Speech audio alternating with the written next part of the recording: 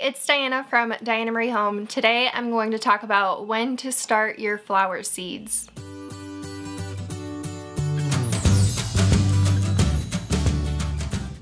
If you're new, I'm glad you're here. I share all about our 1800s fixer-upper farmhouse. We're in upstate New York and we are working to restore it on a budget. I also share about farm life, home decor, DIYs, and gardening. So be sure to hit subscribe. I also have a blog, dianamariehome.com, where I share more about not only what I'm talking about in today's video, um, but there's a whole bunch more about our farmhouse and everything there. I'm also on Instagram, Diana Marie Home, and I share just kind of daily behind the scenes there. Today's video is all about when to start flower seeds. After I shared what seeds I would be planting for 2022. I had some questions about how to know when to actually start your seeds.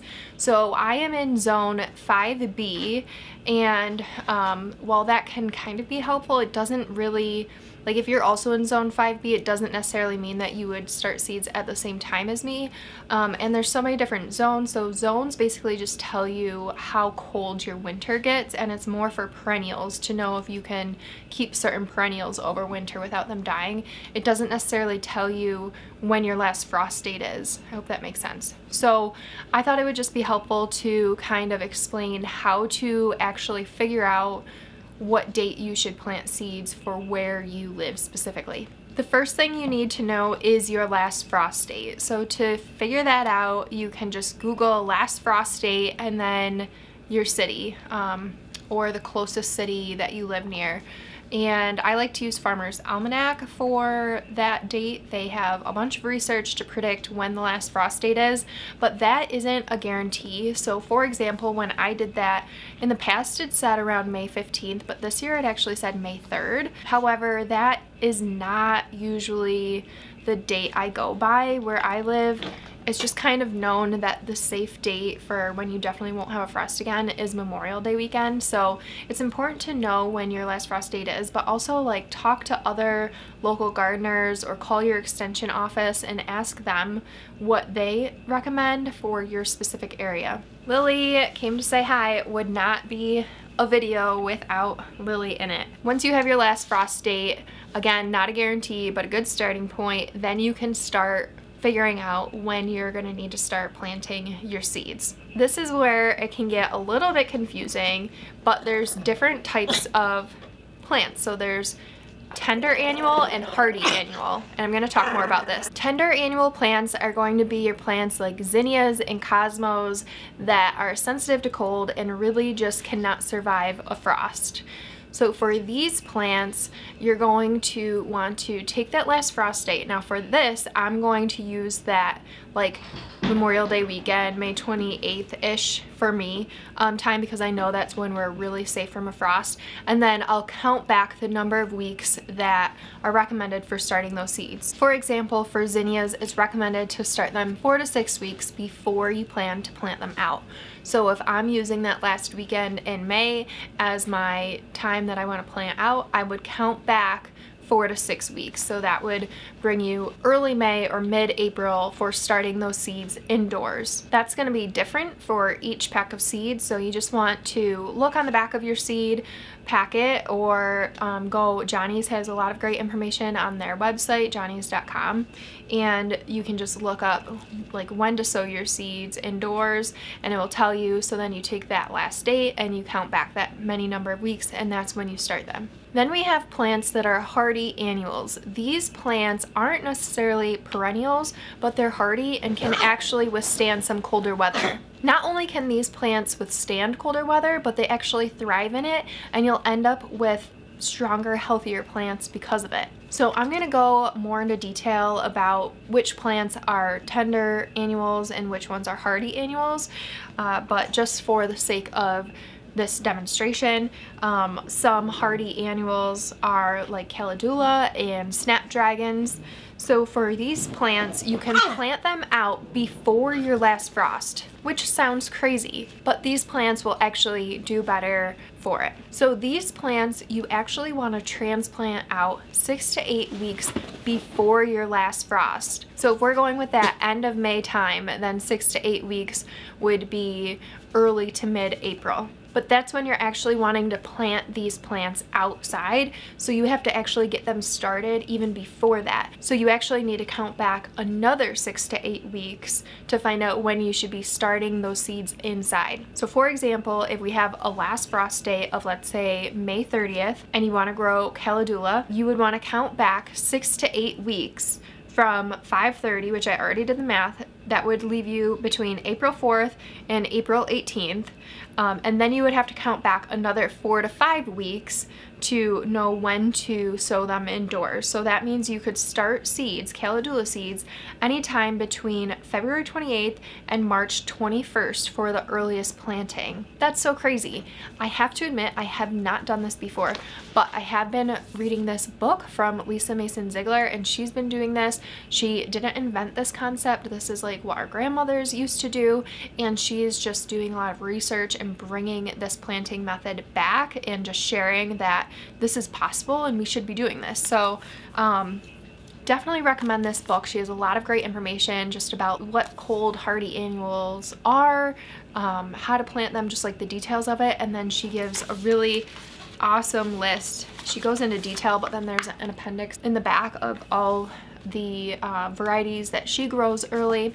So I definitely recommend this. This is what I've been referring to a lot. Advantages of starting seeds inside are that you usually get an earlier harvest, which means you're gonna have flowers sooner. But it's really important to know when to plant certain flowers. If you were to plant zinnias at the same time that you plant your cold hardy annuals, your zinnias will get way too leggy, won't have enough nutrients, and will likely die before you plant them out. It will be a waste of time, space, and resources. So you don't want to do that. You really want to make sure that you're getting that timing right. As hard as it is to wait, you don't want to plant things too early, and you really want to make sure you're planting things at their right time. You don't want to just plant everything all at once. I did that early on in my gardening time and I planted peas and beans and tomatoes, peppers, squash all on the same day because I didn't know and that does not work. So you definitely want to pay attention to when it says to plant those seeds and we're going to talk about more of that in detail but um, yeah, the advantage of starting these cold hardy seeds earlier are that you will have more space. So by the time your cold hardy plants are ready to go out is right around the time that you're going to be ready to start planting your tender annuals like your zinnias and cosmos. You'll be able to maximize your growing space because as you're moving out those uh, cold hardy annuals or cool flowers are what they're called, um, as you're moving those out, you're freeing up space to start your next round of tender annuals. And when you plant those cool flowers early, you're going to end up with hardier plants and earlier blooms. So it's definitely the best way to do it. There's some things you really need to consider before you jump into starting seeds. Starting seeds can't really, you can do it in windowsills, but not on a large scale.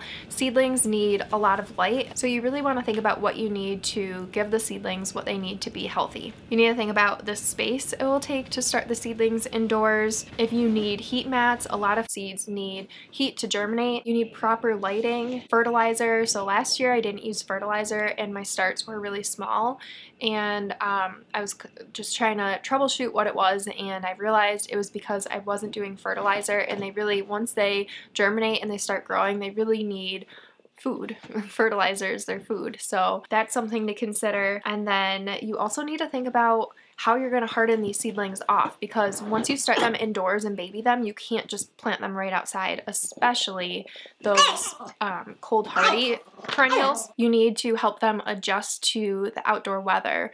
So that means slowly bringing them outside and introducing them to those elements outdoors. Um, a little bit at a time until they're eventually ready to go out on their own full time. The last point that I wanted to make here before we jump into the specific seeds is I want to talk about saving seeds. Saving seeds is so important. That's why I have really been transitioning over to open pollinated heirloom seeds over the last few years. Um, even if they're not heirloom, I still want them to be open pollinated so that I can save seeds from those and know that they're going to grow into into a good plant. The heirlooms, you can be even more confident that the seed will be the same as the parent plant. Hybrids, it's a little bit up in the air what you'll get, but it will still be a flower or foods. Saving seeds is not only good for sustainability, but it's also so cost effective and it just opens up so many more possibilities. So when you save seeds, so many plants produce so many seeds. And when you're buying a packet of seeds, it, it is affordable. It's, you know, a couple dollars depending on where you get it. You can even buy seeds from the Dollar Tree and they do work. That's where I used to get all my cut flowers from. But you're paying a certain amount for a small amount of seed. And so for me, I always get kind of stressed out like, oh, if I mess this up, my seeds are gone. Where when I save seeds, I can have hundreds and hundreds of seeds of a variety to be able to share and to be able to experiment more with.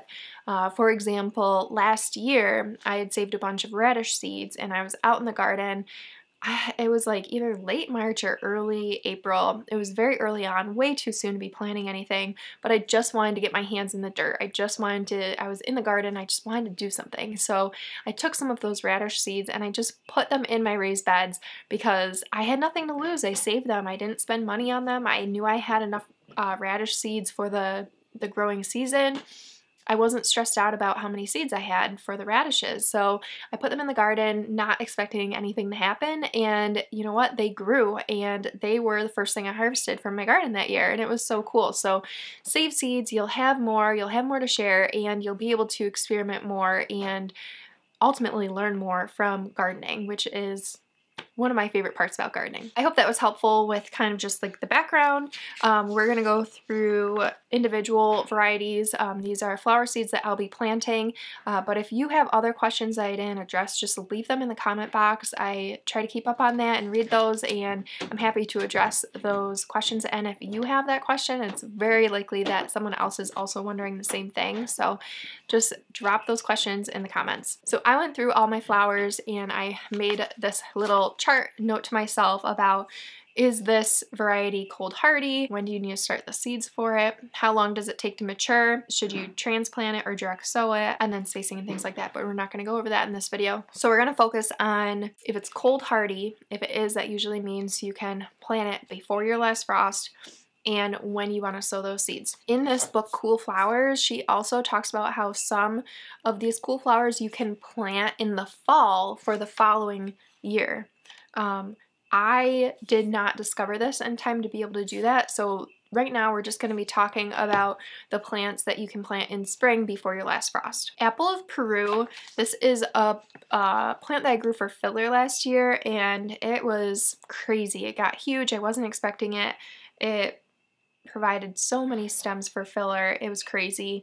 Um, I'm not sure if this is a cool flower. It wasn't in the book, but when I was trying to do some Googling, so if I'm not sure, I'll Google like the variety and then cold hardiness.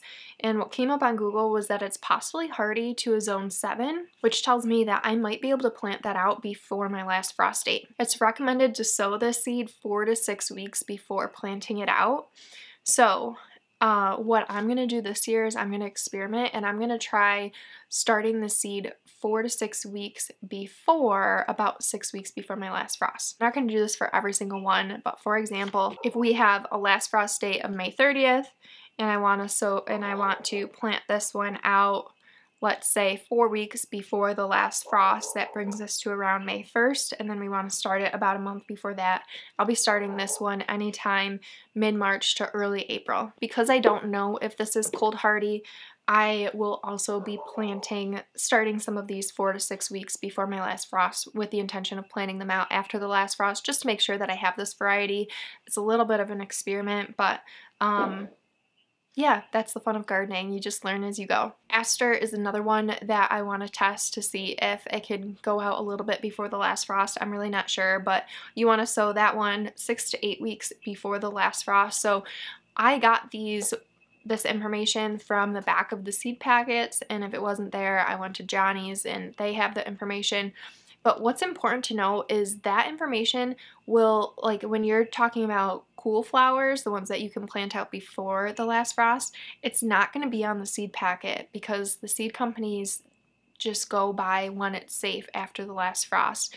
They aren't they aren't following this technique of planting out before the last frost. So to know when to plant those out in general, you can just count back six to eight weeks before your last frost, but I just want to make note of that. That information isn't going to be on the back of the seed packet. Bachelor's button is a cool flower and it's hardy to zone six, and you want to sow that three to four weeks before you plan on planting it out. Basil is something that I love for filler, and it is not cold hardy. It is very sensitive to frost, so I'll definitely be waiting until the end of May to start to, to put my basil out, but I will be starting that indoors six weeks before then. Bupleurum is a filler that is new to me. I'll be growing this year. It's hardy to a zone 5. So this one, I have been using that end of May as our last frost date because I know that's when it's completely safe, but because Farmer's Almanac said my last frost date is May 3rd, these plants that I know are hardy down my zone is zone 5B, so the plants I know are hardy to my zone, and I might even push it if I have enough seeds to zone 6, I'm gonna try planting out using that May 3rd frost date, last frost date, so it'll kind of be pushing the limits, but I just want to see, I want to experiment. If I could get those plants in the ground, we're talking a month earlier, um, then I could have blooms even sooner. So I want to try that. Um, and I'll try it out and see what happens and what's cool about that is I'll be able to come back and tell you if it worked or not. Calendula I used as an example. It's hardy to zone 7 and that one you want to plant 4 to 5 weeks before the last frost. I haven't planted this before. Um, it's only supposed to be 50 to 55 days to maturity which means that it's going to be one of the first to bloom and if you can plant that out even before your last frost that should give you super early flowers so I'm really excited to try that one out. Celosia is not a cool flower.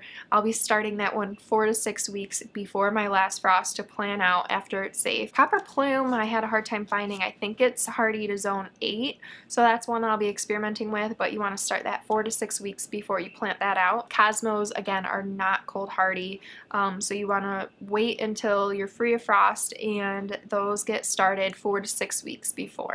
Is hardy to zone 5 so another cool flower and you want to start that five to seven weeks before before you want to plant that out. So again, cool flower, you're planting that out six to eight weeks before your last frost and then count back another five to seven weeks. Gomphrena is not a cool flower, but you start at six to eight weeks. Love in a Mist or Nigella is a cool flower, hardy to zone six. I don't actually have, oh, so you want to direct sow Nigella. So uh, about six to eight weeks before your last frost date, you can go out and just plant it in your garden or wherever you're going to plant it and then it will come up on its own. Orlaya is another cool flower, hardy to zone 6, and you want to start that four to six weeks before you plant that out. Salvia, there are different varieties, but they seem like most of them are pretty hardy, and you want to start those anywhere from 6 to 8 or 10 weeks uh, before you plan to plant those out. So again, cold flower, you count back six to eight weeks, and then another six to 10 weeks to know when to start those seeds.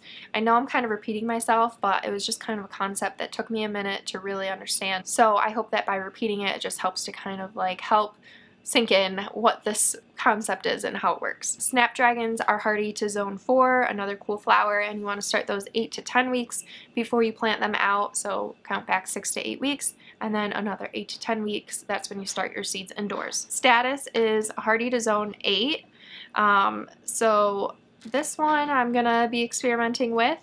Um, you want to start that five to six weeks before you plant it out. Straw flower is hardy to zone 8 and that's six to eight weeks before you plant it out. Sunflowers are one that I'm going to be pushing the limits with this year. They are not cold hardy but I have heard that they kind of they can handle a little bit of a light frost so I'm going to try it. Um, Sunflowers don't like to be transplanted. However, I have found that I have to start my seeds in a cell pack because otherwise I have chipmunks and they just follow behind me and eat the seeds. At least that's what it feels like. So I always pre-start my sunflower seeds, but you just want to do it like two, maybe three weeks before you plan to plant them out. They don't need a huge head start, but I found if they've already germinated and started coming up, the chipmunks are much less likely to bother them. Sweet Annie, I believe, is hardy down to a zone 5. I'm going to be experimenting with that. You want to start 5 to 6 weeks before you plan to plant it out. Yarrow is hardy down to a zone 2, so this is a very cold hardy it's actually considered a perennial. This one's very safe to plant out early and you want to get that started 8 to 10 or 12 weeks before you plan on planning it out, but it's a perennial, so it will keep coming back year after year once you get it started. Zinnias are not a cool flower. They're sensitive to frost, and you want to get those started four to six weeks before you plant them out. I hope this was helpful. I know I didn't cover every flower. I was just going through the flowers that I plan to plant this year a lot of those were in this book, Cool Flowers, but a lot of them weren't, and they're just flowers that I think might follow that same process um, and work, but I'm just not sure, so I'm going to experiment, and I'm excited to tell you what works and what doesn't. I think that's one of the best parts of gardening is the experimentation and learning part, so I'm sorry I couldn't give you exact dates of when to start each seed, uh, but I hope that this information was helpful so that you can find your exact frost date and be able to count back to figure out when exactly you need to start each variety because it's just it's not clear cut and um, even if I told you the exact dates that I was starting my seeds unless you were my neighbor it really wouldn't be super helpful so um, this is more of the information you need to figure it out for exactly where you live. Again, if I didn't answer all of your questions, just leave them in the comment box. I'm happy to help in any way I can, but thank you for hanging out with me today. I will see you in that next video.